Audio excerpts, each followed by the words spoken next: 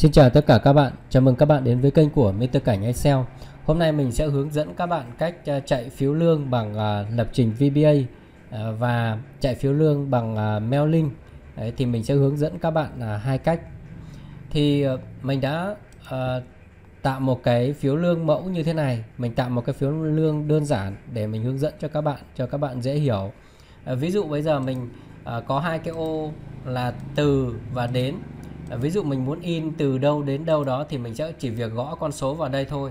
Và sau đó mình bấm in thì lập tức là cái phiếu lương đó nó sẽ in ra cho chúng ta. Và cái bảng dữ liệu của chúng ta là cái bảng bên này. Đấy, mình có tạo một cái bảng dữ liệu mẫu như này. Và sau mình sẽ để cái bảng dữ liệu, cái file này ở dưới cái cái clip của mình. Và các bạn có thể tải về, các bạn xem và thực hành theo được, các bạn nhé.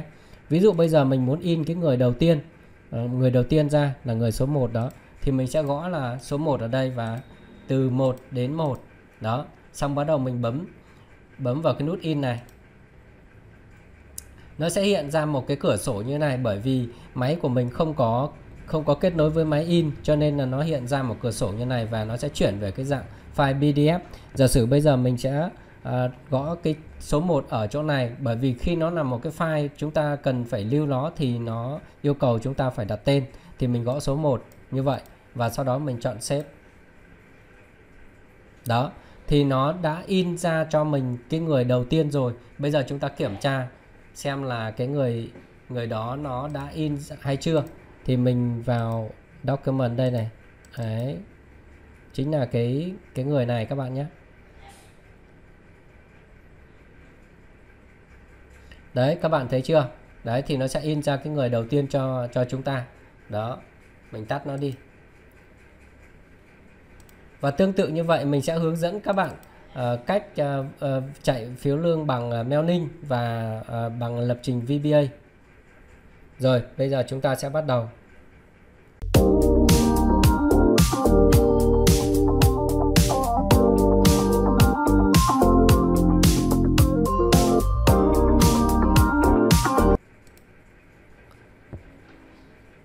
Đầu tiên mình sẽ hướng dẫn các bạn cách ờ, chạy uh, phiếu lương bằng ờ, uh, mailing trước để cái cái cách đó thì khá là đơn giản thì mình sẽ hướng dẫn các bạn uh, cái cách mà chạy bằng mailing trước nhé. Mình sẽ đóng cái file này lại. À, mình không lưu các bạn nhé. Để chạy uh, phiếu lương bằng uh, mailing ấy, thì chúng ta sẽ cần chuẩn bị một cái mẫu uh, chuẩn chuẩn bị mẫu ở trên file Word các bạn nhé. Mình có tạo một cái mẫu đơn giản như thế này, uh, mẫu phiếu lương đơn giản như thế này đấy, các bạn có thể là ứng dụng ờ, chạy phiếu lương hoặc hợp đồng cũng được đấy. À, thì à, để cho dễ hiểu thì mình à, tạo một cái mẫu đơn giản như vậy ở trên file Word như thế này. Đấy, chúng ta cần chuẩn bị một cái file mẫu trước các bạn nhé. Đấy, mình thu xuống này. Tiếp theo là chúng ta cần phải chuẩn bị một cái bảng data. Đấy bảng data. Thì mình mở cái file Excel lên. Bảng data của chúng ta sẽ Ờ, uh, làm ở trên Excel và các bạn chú ý là cái tiêu đề của các cái cột này là không có gộp các bạn nhé. Đấy, để tiêu đề đơn giản như thế này. Đấy, nếu mà các bạn mà gộp ấy thì nó sẽ dễ bị khi mà các bạn kết nối thì nó sẽ dễ hiện là cái FFF ấy. Đấy, F1, F2, F3, F bao nhiêu đấy. đấy thì chúng ta sẽ không xác định được là cái cột mà chúng ta cần lấy nó là cái cột số mấy. Đó các bạn uh, chú ý cái cái cái điểm này. Đấy, sau khi mà chúng ta chuẩn bị cái bảng à, dữ liệu xong là chúng ta sẽ đóng đóng đóng cái bảng dữ liệu này các bạn nhé. Các bạn bắt buộc phải đóng nó lại. Và chúng ta lưu ở ngoài mình có để là lưu ở ngoài desktop này các bạn nhé. Đấy data chạy phiếu lương ở ngoài desktop. Rồi bây giờ mình mở cái uh, phiếu lương bằng uh, file uh, Word lên. Và việc đầu tiên chúng ta cần làm đó là chúng ta sẽ kết nối kết nối cái file Word này với cái bảng data vừa rồi đấy. Thì chúng ta sẽ vào mail link này. Đấy, vào mailing và các bạn chọn là uh, select recipient. Các bạn chọn vào đây và các bạn chọn là view an exception list. Các bạn chọn nó. Và chúng ta tìm đến cái file mà chúng ta vừa giờ lưu đó thì mình có lưu ở ngoài desktop. Thì mình chọn desktop này. Đấy, data chạy phiếu lương này. Và chúng ta chọn vào cái bảng data. Và chúng ta chọn open. Rồi nó hiện ra một cái cửa sổ như thế này à, nó có ba cái lựa chọn. Thì chúng ta sẽ chọn vào cái cái lựa chọn mà nó cái sheet của chúng ta đang lưu đó cái bảng dữ liệu đấy. Thì chính là có cái chữ database này này. Đấy, chúng ta chọn nó. Rồi chúng ta chọn ok. Đó như vậy là chúng ta đã kết nối giữa cái file Word và file Excel rồi. Vậy thì làm sao để chúng ta biết là chúng ta kết nối thành công hay chưa? Chúng ta kiểm tra như sau. Chúng ta đưa con trỏ chuột lên cái phần là insert field này này. Các bạn chọn vào cái mũi tên đen nhỏ nhỏ đấy. Đó thì nó sẽ hiện ra toàn bộ cái danh sách cái tiêu đề của những cái cột của cái bảng dữ liệu Excel của chúng ta. Đấy nếu mà trường hợp mà các bạn à, kết nối xong mà nó không hiện à, cái à, tiêu đề của cái bảng dữ liệu đó đấy, thì các bạn sẽ cần kết nối lại. Hoặc là nếu trường hợp mà ở ở cái bảng của các bạn ấy mà nếu mà sử dụng các cái ô mà gộp ấy hoặc là ừ, nó có những cái tiêu đề phức tạp ấy thì có khả năng là chỗ này nó sẽ hiện uh, các cái F đấy, F1, F3, F9, F12, F bao nhiêu đấy nó cứ hiện FF như vậy. F đó là có nghĩa là là những cái cột nhưng mà bởi vì nếu mà nó hiện như vậy chúng ta sẽ rất là khó khăn trong cái việc là chúng ta lấy dữ liệu xuống ờ, từng những từng cái mục ở phía dưới này. Để các bạn chú ý như vậy nhé. Rồi sau khi chúng ta kết nối xong rồi việc bây giờ của chúng ta chỉ việc là Việc chúng ta bây giờ là chỉ lấy các cái thông tin từ phía trên này xuống chúng ta chọn vào cái mũi tên đen này chúng ta chọn vào từng cái trường một đó, chúng ta chuyển con trỏ xuống dưới nhé. Và chọn từng cái trường một. Tương tự như vậy. Các bạn sẽ chọn. Bao giờ hết thì thôi ạ. Ngày công, rồi đến lương cơ bản, rồi đến phụ cấp, rồi đến tiền tăng ca, rồi đến trừ bảo hiểm, rồi đến trừ thuế thu nhập cá nhân này và cuối cùng là thực nhận. Thực nhận.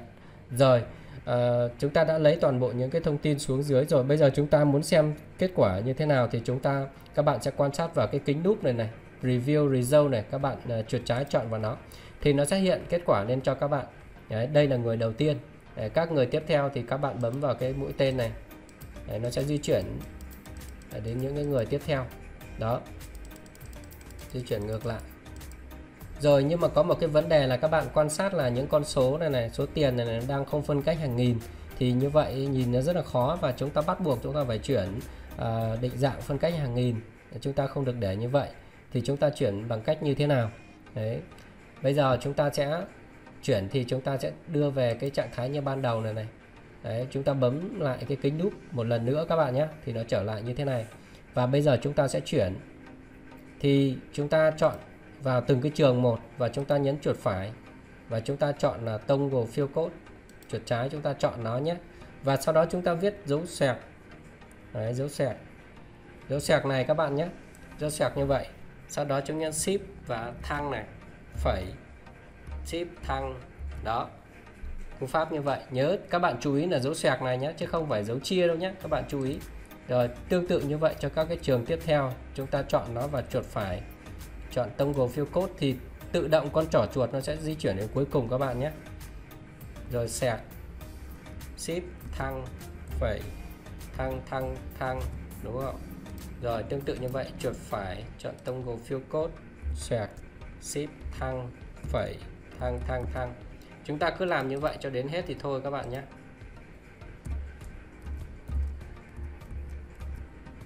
Rồi, tương tự như vậy rất là đơn giản. Chuột phải tông gồm phiêu code share shift thang này. Thang thang thang, rồi bây giờ chúng ta sẽ kiểm tra kết quả bằng cách là chúng ta chọn vào cái kính nút đó các bạn thấy chưa? Kết quả nó đã hiện ra và nó phân cách hàng nghìn cho chúng ta rồi và tất cả những người khác cũng như vậy luôn. Rất đơn giản đúng không ạ? Giờ việc của chúng ta là bây giờ chúng ta sẽ chạy ra cho tất cả mọi người luôn. Đấy chạy tất cả mọi người thì chúng ta chọn vào check for errors này này. Các bạn chọn chuột trái chọn vào nó. Nó hiện ra một cái hộp thoại như này. Các bạn đừng quan tâm nó các bạn cứ thế chọn ok luôn. Đó. Rất là nhanh chóng. Đấy chạy ra. À, cái file của mình có 10 người các bạn nhé. Nó chạy rất là nhanh. Còn nếu trường hợp file của chúng ta giữ bảng dữ liệu của chúng ta nhiều hơn đấy thì nó sẽ chạy lâu hơn một chút nhưng mà cũng không quá lâu đâu các bạn ạ. Kể cả 1.000 hoặc 2.000 nó cũng sẽ chạy nhanh thôi. Đó sau khi chúng ta đã chạy ra tất cả mọi người rồi thì chúng ta sẽ lưu cái kết quả lại. Đấy, lưu cái file kết quả lại các bạn nhé. Đấy các bạn muốn lưu ở chỗ nào đó các bạn muốn. Đấy. Đấy các bạn lưu ví dụ như là các bạn lưu là phiếu lương. Đấy, phiếu lương tháng 8.2022 đó. Ví dụ như vậy enter. Đó. Rồi các bạn muốn in ra thì các bạn uh, chỉ việc in thôi rất là đơn giản đúng không ạ? Rồi mình đóng cái kết quả này lại. Tuy nhiên nó có một cái vấn đề như thế này. Khi chúng ta chạy phiếu lương hoặc là hợp đồng ấy giả sử phiếu lương đi thì khi mà ở công ty của chúng ta doanh nghiệp chúng ta nó rất là nhiều người có thể là nghìn người hai nghìn người năm nghìn người mười nghìn người. Nếu mà chúng ta mà chạy à, một uh, một ra tất cả cho một cái file như vậy ấy thì đôi khi chúng ta in sẽ, sẽ gặp vấn đề uh, nếu giả sử một cái file một nghìn người mà khi chúng ta uh, lệnh in một một nghìn người như vậy ấy, thì cái máy in trong văn phòng của chúng ta thì nhiều người sẽ dùng chung. Thì dẫn đến là cái việc là mọi người sẽ phải chờ nhau. Còn nếu mà chúng ta in cái những cái máy in cá nhân thì nó cũng rất là uh, rất là hại máy. Máy in nhỏ đấy rất là hại máy bởi khi mà chúng ta in nhiều như vậy. Thì nó nó không có được uh, uh, không có được là làm nhanh bằng cái máy to nhưng mà in máy to thì thường là nhiều người in. Vậy thì chúng ta phải làm như thế nào để khắc phục cái nhược điểm đó để chúng ta có thể in máy to để cho nó nhanh? Và nó nó sẽ hạn chế cái việc là ờ, sử dụng máy in nhỏ thì nó nó dễ, dễ bị hỏng máy. Rồi bây giờ chúng ta sẽ à, thay vì chúng ta chạy ra toàn bộ kết quả như vậy chúng ta sẽ tách từng phần ra một. Đấy, chúng ta sẽ tách từng phần để để chúng ta có thể in ở bất kỳ máy nào. Ví dụ chúng ta công ty chúng ta có 1.000 người thì chúng ta có thể để chia thành 10 file hoặc là ờ, uh, 5 file tùy mỗi file là 200 tờ chẳng hạn thế.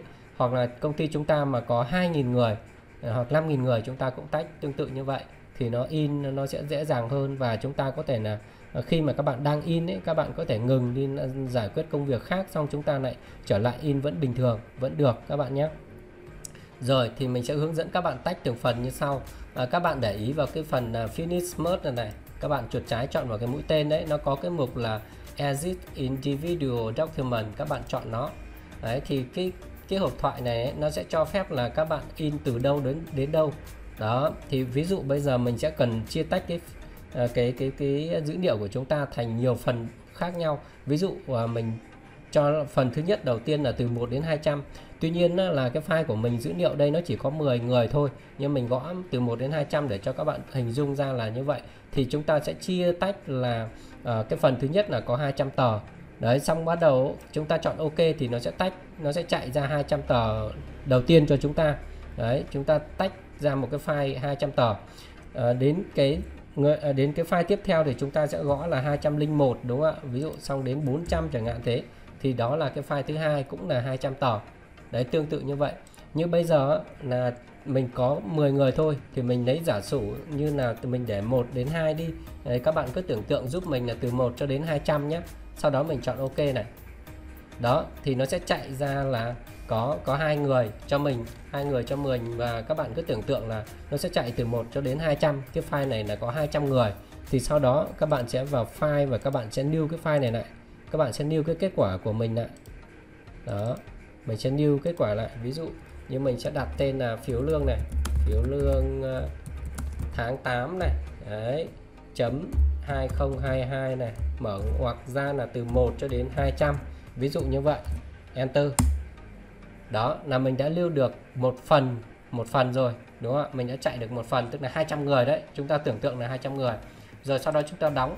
Và tiếp tục như vậy, chúng ta sẽ chạy Đấy, cho cho 200 người tiếp theo thì chỗ này trong thực tế là chúng ta sẽ phải để là 201 cho đến là 400 đúng không ạ? 400 đúng không ạ? Đấy nhưng mà bởi vì cái à, mình đang ví dụ cho các bạn thì bây giờ mình chạy cái tiếp theo là từ số số 3 đến số 4 các bạn nhé. Số 3 đến số 5 đi. Đó. Rồi chúng ta chọn ok này. Đó. Thì chúng ta cũng tách được hai cái phiếu lương tiếp theo. Các bạn cứ tưởng tượng là từ 201 cho đến 400 nhé. Sau đó các bạn sẽ vào file và các bạn sẽ lưu lại cũng tương tự như thế rất là đơn giản đúng không ạ? Rồi. Phiếu lương tháng 8 chấm 2022 Đấy, từ 201 cho đến 400 Enter đó thì mình đã tách được là 200 cái phiếu lương tiếp theo rồi. Đấy, sau đó các bạn hình dung là à, hình dung là khi mà các bạn in ấy thì các bạn sẽ chọn từng cái file một các bạn in bình thường và nó sẽ khắc phục được cái nhược điểm là chúng ta có thể là in máy cá nhân nhỏ được hoặc là in máy to được thì người khác nó cũng không ảnh hưởng đến mọi người nhiều. Còn nếu mà chúng ta không tách như vậy thì chúng ta in một lệnh uh, thì nó sẽ sẽ sẽ rất là phiền uh, khi mà người khác phải chờ chúng ta hoặc là uh, giả sử máy nó có nếu mà in nhiều như vậy uh, nó chạy rất là lâu thì dẫn đến là máy rất là nhanh hỏng uh, các bạn chú ý như vậy nhé. Đấy là cái cách sử dụng uh, ờ, sử dụng uh, mẫu mail link. Thì mình xong mình sẽ gửi cái cho các bạn mình để cái đường link để các bạn có thể tải cái file này. Các bạn sẽ thực hành theo cái ờ, video của mình. Tiếp theo bây giờ mình sẽ hướng dẫn các bạn uh, chạy phiếu đương bằng uh, lập trình VBA đây là một cái bước cao cao cao cấp hơn. Nếu mà giả sử bạn nào muốn thì các bạn có thể là uh, xem và thực hành theo. Thì cái cái bước này là dành cho những người mà uh, Excel tốt tốt một chút xíu thì các bạn mới có thể làm được. Uh, mình sẽ mở một cái cái file nên như thế này. Rồi giống như lúc đầu ấy mình có cho các bạn xem là cái kết quả là như vậy đấy. Thì cái sheet của chúng ta dữ liệu của chúng ta vẫn là cái cái bảng như thế này. Và chúng ta bây giờ chúng ta cần phải à, lập trình làm thế nào đó để mà khi mà chúng ta in ra nó sẽ chạy từng người cho chúng ta từ đầu đến cuối luôn hoặc là từ đâu đến đâu đó mà tùy chúng ta in. Thì cái cách này nó rất là linh hoạt. Cách này nó linh hoạt à, nhưng mà nó đòi hỏi một chút kiến thức về Excel nền tảng. Chúng ta phải cứng cứng một chút.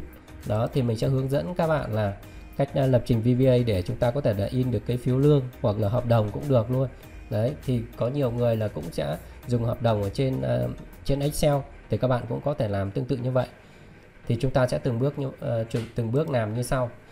Thì để mà uh, các bạn có thể viết được uh, code ở trong uh, uh, trong trong Excel ấy, thì các bạn cần phải có cái thẻ là developer này này. Nếu mà trường hợp máy của các bạn không có thì các bạn làm như sau nhé các bạn chuột phải vào cái cái thanh uh, thanh uh, tiêu đề ở phía trên này này thì các bạn sẽ tìm đến cái mục là Customer Ribbon các bạn chọn vào nó. Rồi thì các bạn chú ý ở bên bên phải này nó có cái chỗ thẻ là developer các bạn cần phải tích vào nó. Tích vào nó sau các bạn chọn ok. Đó thì nó sẽ xuất hiện cái thẻ developer cho các bạn. Đó. Rồi bây giờ chúng ta sẽ viết code thì chúng ta sẽ làm như sau. Có rất nhiều cách. Các bạn có thể nhấn là Antenet F111 hoặc các bạn có thể chọn vào là Visual Basic. Đó sẽ nó nó sẽ mở cái một cái cửa sổ soạn thảo uh, code VBA cho chúng ta. Đây là cái code mà mình đã soạn thảo rồi. Thì bây giờ mình sẽ soạn thảo lại từ đầu cho các bạn xem. Đấy, mình sẽ chuột phải vào cái khoảng trắng ở bên này. Mình sẽ chọn là insert và mình chọn là module. Đó mình xóa cái dòng chữ này đi. Bây giờ mình sẽ uh, viết một cái code để mình chạy cái phiếu lương ở trên uh, Excel cho các bạn xem. Rồi đầu tiên đấy là bắt đầu chúng ta bắt đầu viết một cái sub như thế này. Và chúng ta cần phải viết tên của cái sub đó là ví dụ như là chạy phiếu lương. Chạy phiếu lương như thế này. Để enter. Đó. Đấy, mình enter rộng rộng ra nhé rồi và đầu tiên đó, chúng ta sẽ phải cần phải khai báo một cái biến. Đấy, khai báo một cái biến y như sau nhé các bạn viết đúng như mình là được y add add long enter. Đó mình khai báo một cái biến y như vậy. Đó. Um, uh, có thể là mình sẽ làm từng bước để cho các bạn dễ hiểu hơn nhé mình sẽ không cần phải khai báo biến in ngay. Ví dụ bây giờ giả sử khi mà uh, yêu cầu của chúng ta là cần phải in cái phiếu lương này ra đúng không ạ? Thì có phải là chúng ta cần phải lấy cái dữ liệu của cái cái dòng từng cái dòng này đúng không ạ? Chúng ta cần phải lấy dữ liệu từng cái dòng ở bên này sang vào những cái ô bên này đúng không ạ? À, trong thực tế là như vậy đúng không ạ? Đấy. Các bạn có thể là uh, dùng cái hàm VLOOKUP để các bạn lấy VLOOKUP dựa vào cái mã nhân viên này cũng được. Đấy, nếu các bạn muốn. Còn không thì uh, chúng ta nếu mà dùng hàm uh, dựa bằng lập trình VBA thì mình sẽ hướng dẫn các bạn không cần phải dùng hàm VLOOKUP cũng được. Còn nếu mà các bạn có thể sử dụng VLOOKUP thì các bạn sử dụng VLOOKUP thì nó sẽ nhanh và đơn giản hơn đấy. Đấy nhưng mà mình sẽ hướng dẫn các bạn cách uh, lập trình bằng VBA đấy cái công việc của chúng ta đầu tiên đấy là chúng ta sẽ cần phải lấy dữ liệu từ cái cái bảng bên này sang những cái ô này đúng không ạ? Đấy, công việc đầu tiên của chúng ta là như vậy sau đó chúng ta mới bắt đầu in đúng không ạ? Đấy rồi thế thì mình sẽ đầu tiên là mình sẽ mình sẽ lấy mình sẽ lấy mình sẽ viết một cái code để lấy cái dữ liệu cho các bạn xem nhé. Thì mình sẽ viết như sau này. Uh, sheet sheet đấy sheet có s các bạn nhé. Mình sẽ viết là Ờ, mở ngoặc ra số 2 đấy đóng ngoặc. Số 2 này đại diện cho cái sheet payroll slip ấy, là cái sheet số 2 đấy các bạn nhé. Đấy chấm rang này. Đấy mở ngoặc ra mở nhé kép ra tức là cái OC4 mình cần phải lấy cái dữ liệu cho OC4 đóng ngoặc lại. Nó sẽ bằng là cái sheet 1 mở ngoặc ra số 1 sheet số 1 này chấm rang này. Mở ngoặc ra nó sẽ bằng cái ô nào nhỉ các bạn? Đấy. Cái mã nhân viên đấy thì nó sẽ bằng OB4 đúng không ạ? Nó bằng OB4 rồi. Đấy, đấy là chúng ta đã lấy cái mã mã nhân viên này từ cái từ cái OB4 này đúng không ạ? Rồi. Tiếp theo tương tự như vậy cho những cái thông tin tiếp theo là chúng ta copy cho nhanh nhé. Các bạn copy này. Xong chúng ta sửa. Copy xong sửa cho nó nhanh. Rồi B4 nhé xong bắt đầu là à, AC4 nhé sau đó là đến à, C5 đúng không ạ? Đấy, C5 C5 thì sẽ bằng là C5 thì có phải là bằng C C4 ở bên này đúng không ạ? C5 thì bằng C4 C5 thì bằng C4 A cần chọn Z mình đã nhầm này. đây C4 đây ạ. Rồi C5 thì bằng C4 này rồi tiếp theo là C6 thì bằng bằng D4 đúng không ạ? C6 bằng D4 tức là bộ phận đúng không ạ? C6 chính là bộ phận. Đấy, C5 này C6 này đúng không ạ? Rồi C8 C9 C10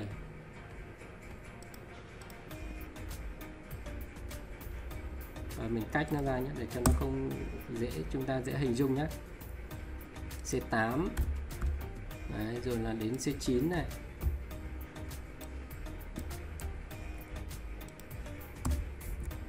Ở trong VBA chúng ta cách ra không ảnh hưởng gì các bạn nhé. C10 này.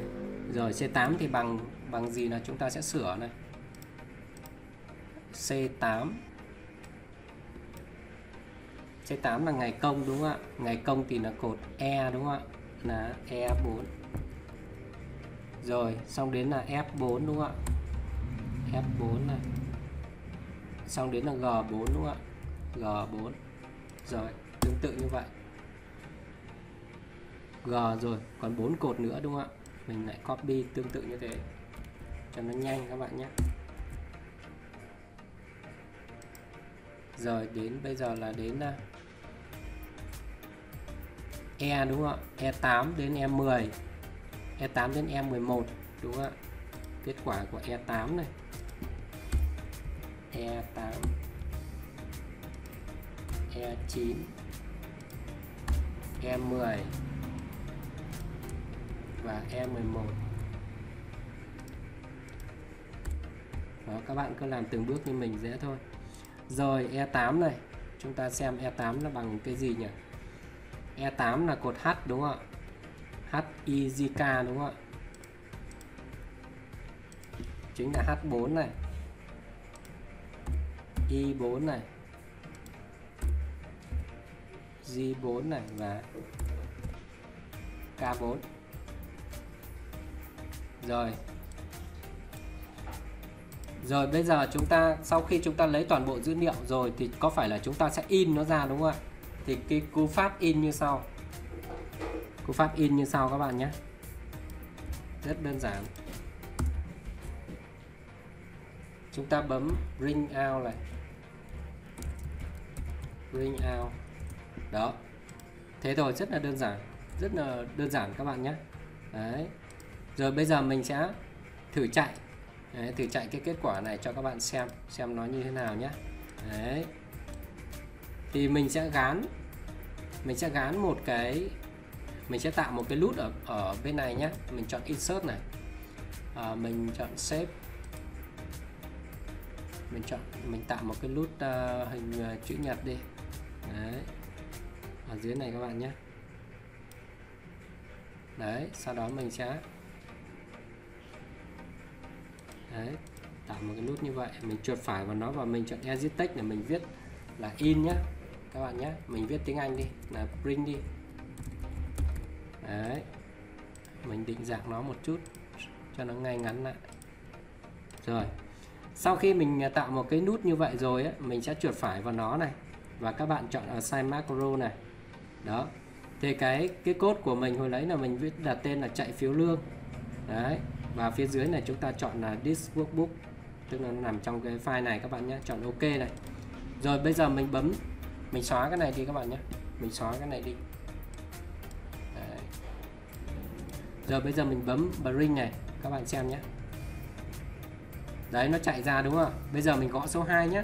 Cái này mình, số 2 này mình à, lưu vào trong document này, số 2 nhé. Mình chọn save này. Rồi, bây giờ mình sẽ kiểm tra số 2 xem kết quả nó có đúng không ạ? Chúng ta chọn document này, số 2 này.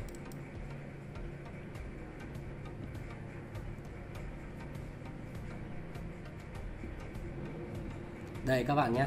Đó chính xác. Đấy. Vậy là nó ra kết quả đúng cho chúng ta rồi. Tuy nhiên là là chúng ta không thể nào mà chúng ta in từng tờ như vậy một được đúng không ạ? Đấy thì chúng ta sẽ phải làm như thế nào? Để mình sẽ hướng dẫn các bạn nhé. Để chúng ta muốn, muốn in hàng loạt cơ mà đúng không ạ? Đấy. Thì chúng ta sẽ làm như sau. Đấy vẫn cái cốt này đúng không ạ? Thì chúng ta sẽ chỗ này mình sẽ bây giờ mình mới dùng một cái biến y các bạn nhé. Tim y ẹt non này. Đấy. For y, tức là mình cho y y nó sẽ chạy. For y bằng. Cái ô h1 đấy. Là tức là sheet 2 đúng không ạ? Mình copy cái này ạ rank của h1 bằng h1 h1 này tu. Đấy tức là chạy từ đâu đến đâu đấy. Dán tiếp các bạn nhé. Tu là đến là ô G1 đúng không ạ? G1 rồi nó chạy từ uh, từ cái ô H1 cho đến ô G1 đấy thì cái giá trị ở trong HO H1 là bao nhiêu G1 là bao nhiêu nó sẽ chạy cho chúng ta. Có in à, có for là phải có next các bạn nhé. Thì chúng ta sẽ viết next ở phía dưới này.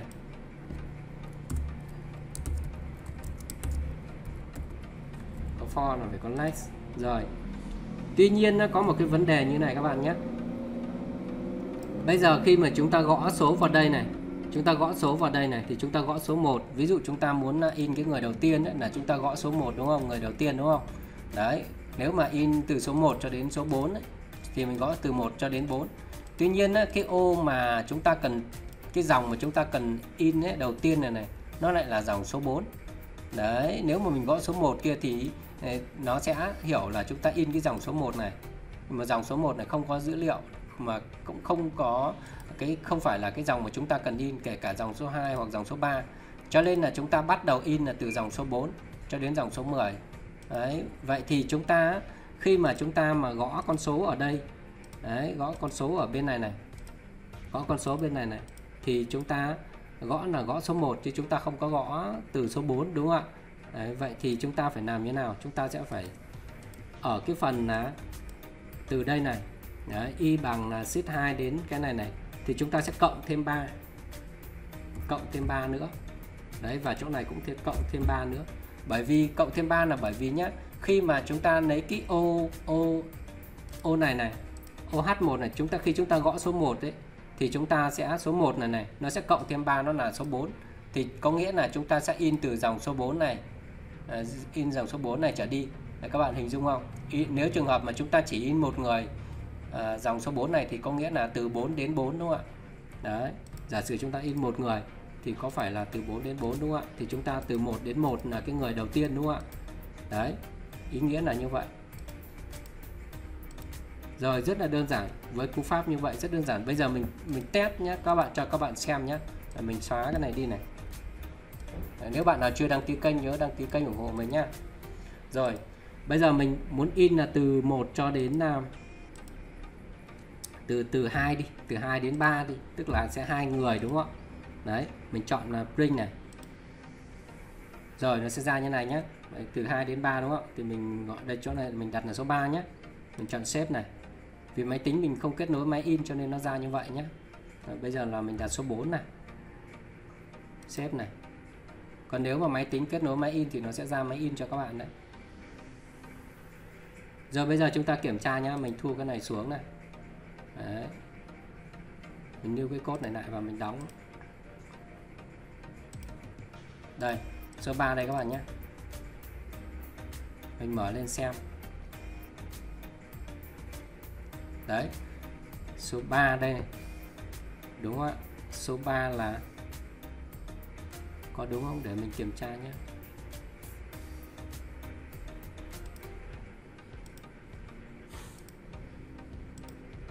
Từ số 2 đến số 3 đúng không ạ? Từ số 2 đến số 3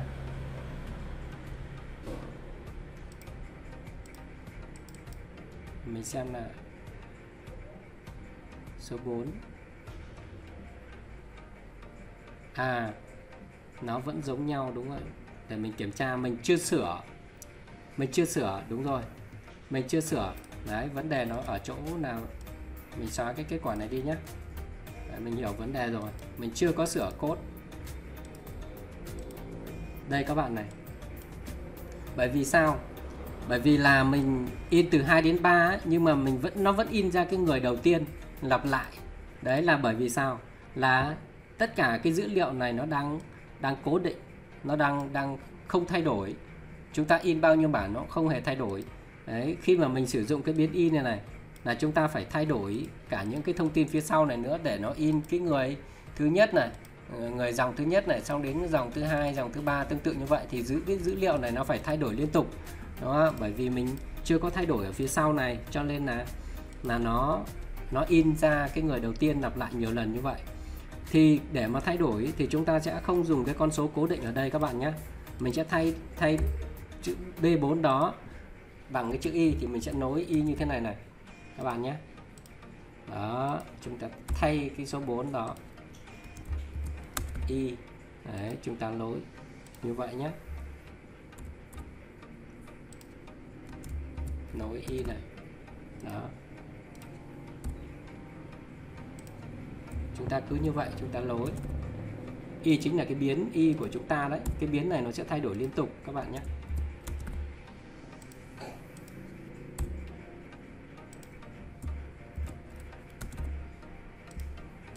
Ta cứ thay lần lượt. Vừa rồi là mình mới có uh, uh, thêm biến vào nhưng mà chúng ta lại chưa có đưa biến vào trong cái cái cốt của chúng ta cho nên là nó nó như vậy.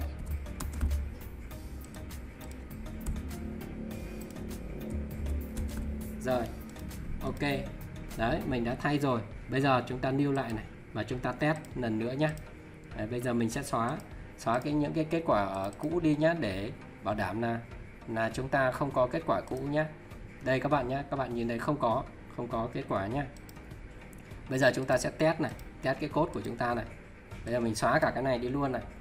Đấy, kể cả các bạn không xóa cũng không sao cả nhưng bây giờ mình xóa đi nhé và các bạn chú ý là chỗ này những cái con số này các bạn định dạng phân cách hàng nghìn nhé các bạn bấm vào dấu phẩy này này phân cách hàng nghìn cho nó nhé Đấy, thì nó mới ra phân cách hàng nghìn cho các bạn. Các bạn chú ý nhé đấy rồi bây giờ mình test nhé mình thử in số 2 đến số 3 nhé mình chọn print này.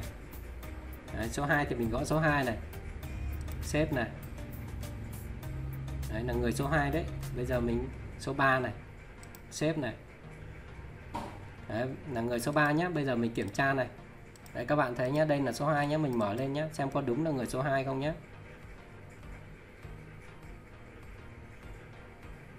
đó các bạn thấy chưa? A002 là người số 2 này các bạn nhé.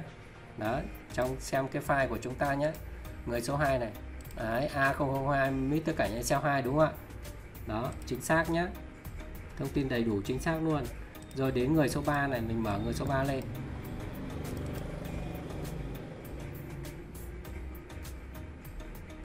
Rất là dễ đúng không ạ? Mình hướng dẫn các bạn rất là đơn giản. Đó người số 3 đây này. Đấy A003 đúng không ạ? A003 đây các bạn nhé. Toàn bộ thông tin của người số 3 đó tương tự như thế nếu mà các bạn không mình không đóng cái này mình đóng cái này. Đấy bây giờ chúng ta giả sử chúng ta muốn in đến từ đâu từ đầu đến cuối chẳng hạn đúng không ạ? À, từ có nghĩa từ 1 đến 10 thì đơn giản là các bạn chỉ gõ chỗ này là từ 1 thôi. Đấy, chỗ này là mình để xuống 10 thôi. Sau đó bấm bấm in thì nó sẽ chạy từ 1 đến 10 cho các bạn. Hoặc các bạn muốn in từ đâu đến đâu đó. Đấy rất là đơn giản đấy thì mình à, làm với tất cảnh Excel mình đã hướng dẫn các bạn cách à, à, chạy mailing từ cơ bản đến nâng cao. Từ tự và từ chạy phiếu lương bằng mailing này và chạy phiếu lương bằng lập trình VBA đấy cảm ơn các bạn đã theo dõi video của mình. Và nhớ đăng ký kênh ủng, ủng hộ mình nhé để mình có động lực làm những cái video tiếp theo nhé. Xin chào ờ, xin chào và hẹn gặp lại các bạn.